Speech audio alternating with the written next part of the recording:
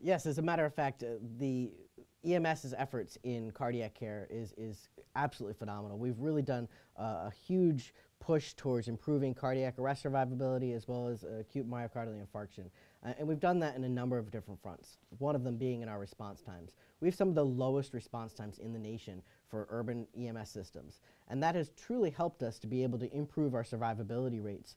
Um, our average response time is about six minutes, actually a little bit less. The average response time for the, across the nation is around nine minutes. And so we're a third less on our response times uh, compared to other similar systems. And that has helped us uh, improve our ability to get the patients to definitive care Now, quicker. the response time you're talking about is from the time the call comes into dispatch till the time the patient's picked up. I mean, right? That's, that's, or the EMT arrives at the scene.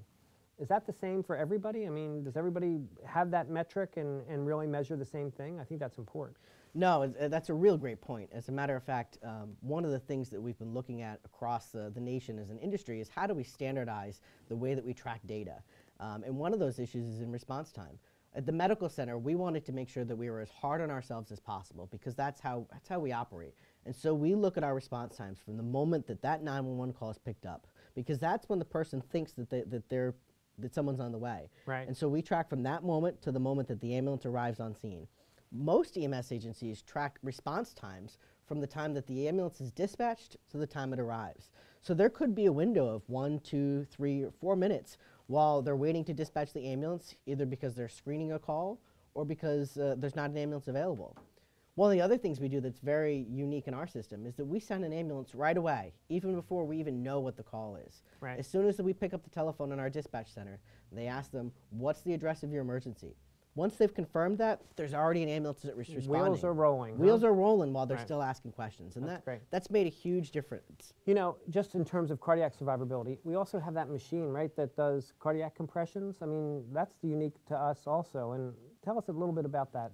What's it called? Sure, It's actually called the Lucas device. The Lucas device, Um, And that to me is one of the real great things about working for a hospital system, is knowing that a, a healthcare system is going to invest in what's best for the patient. Right. And so we have tools like the, the Lucas device, which is a mechanical CPR device that ensures perfect, high quality compressions for patients that are in cardiac arrest. Does everybody use that? No, we're, we're uh, one of the only ones in the state. We may still be the only one. I know there were a couple other hospitals that were looking at it, but the last time I checked, we were the only ones still in the state that was using it. Wow. a- And this is a machine that actually does the compressions exactly right. It does it exactly right, and it's been proven to increase cardiac arrest survivability. Wow. I know we've talked about this, but our Yeah. cardiac arrest survival numbers are unparalleled across the country. Really. The national average for cardiac arrest survivability is about 17%.